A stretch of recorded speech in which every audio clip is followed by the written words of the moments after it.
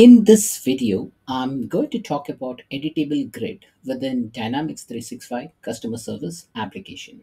Now, remember, this editable grid is not only specific to Dynamics 365 customer service application, but uh, it can be uh, applied for any model driven app as well.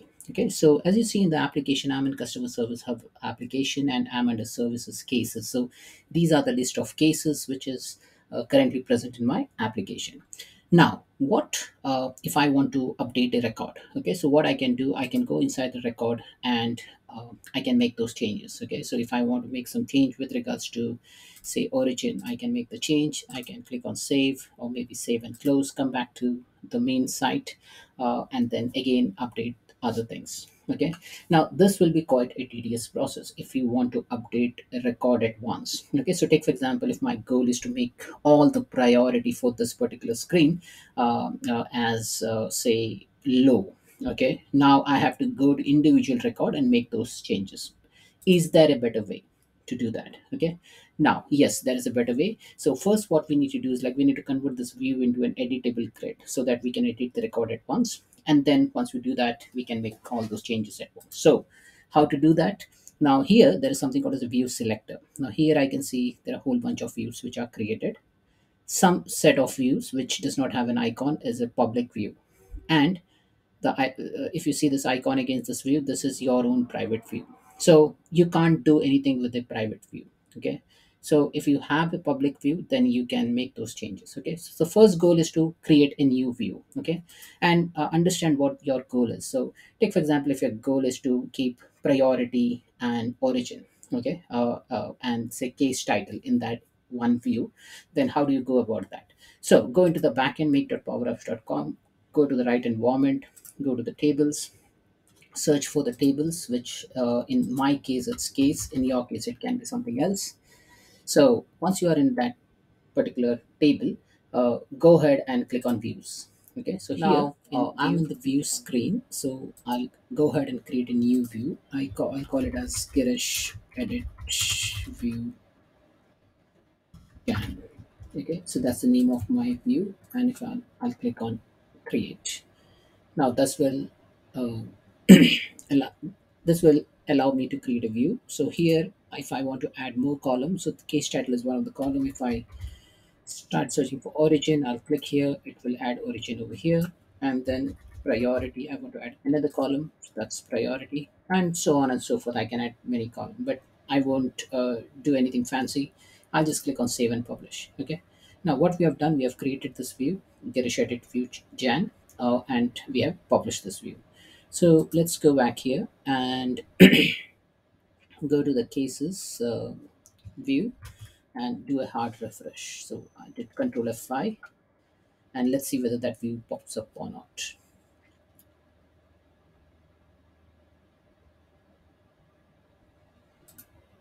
Now the view which I need was Gary shaded view Jan. So yes, that's view is there and I am able to see the three columns which I have selected. But this view is not an editable one. Okay, so how to make it editable?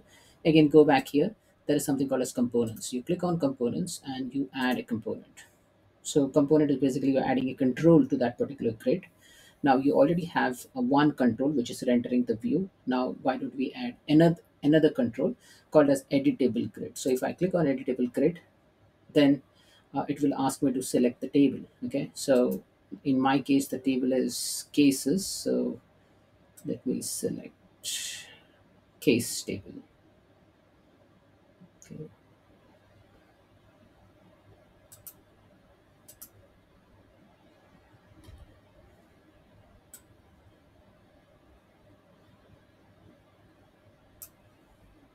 So there are various other tables which you can see over here. uh, I can select the cases table and I'll click on done. Once that is done, you will see that there is a subgrid control and there is an editable grid control over here. I'll click on save. Okay. Uh, again, you can go back to components and see that there is an editable grid. Uh, editable grid, you can edit it. You have seen that this is related to my cases. It has uh, some view attached to it. Uh, now, in my case, this is uh, the one which I cre- created it with Jan. Okay Now remember, uh, I'll, I'll just I've just selected that it has gone into edit mode, and I click on save and publish. Once that is done, uh, you just do a hard refresh again.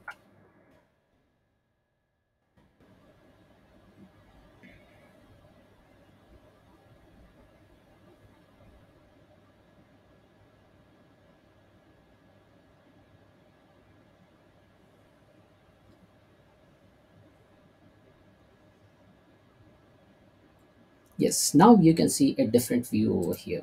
Now here, this is called as an editable grid. So what happens when you click on this particular control, then you can edit the content in line. Okay.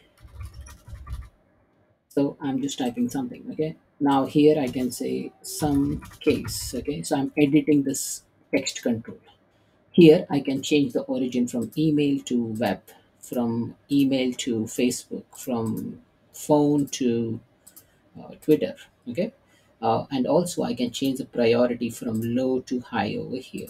Okay, so that's how we can do an editable, uh, uh, like inline editing for the uh, case entries. Okay, now uh, here again you're going one by one. It's a nice interface, but what if we want to do something uh, in a bulk? Okay, so take for example if you want to mark all this priority as say low. Okay, now here, first thing you need to see whether it is editable or not. Okay. When I say it is editable or not means you click on this and then here you will see lock. Okay. Now why does this lock appear? Because this case is resolved and it has gone into editable, uh, uh, non-editable mode. Okay. So you can't edit this control. Okay. And if you want to navigate the record, you click on this arrow icon over here and then you can see that this record is in edit mode. So uh, for all this record which is in uh, non-editable mode you can't do a bulk update. But yes for the first five records or six record yes i can do. Okay? So let's do one thing. Let's do it for five records and make this priority as low. Okay? So how do you do that? You click on five records click on edit and it form will pop up. And then here under header uh, maybe priority you make it as low. And also what i'll do i'll make the origin as facebook. Okay so I made two change origin Facebook and priority as low. Okay, for this first five record, and I'll click on save. The moment I do that, it will say saving one by five records, and then you achieve your goals. Okay, and if you want to again navigate to the record, if you want to see the record, you click on arrow mark over here, and then you can uh, update the record individually as well.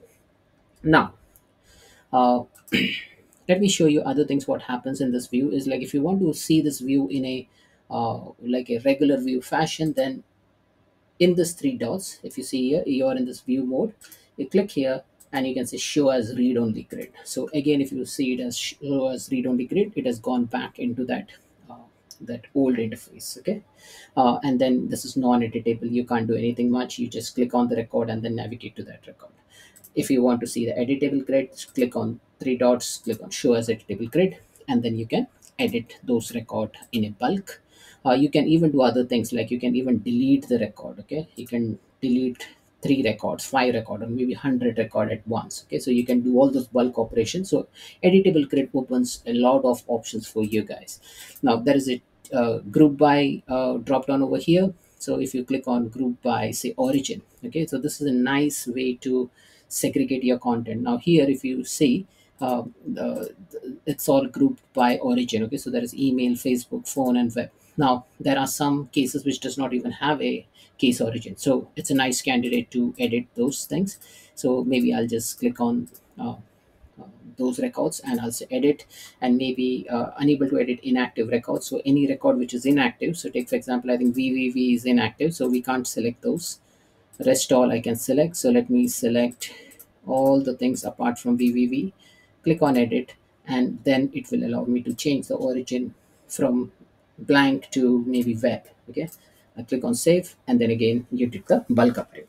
So this is how you basically use the editable grid in Dynamics 365 Customer Service Hub or any model driven application. Thanks for watching.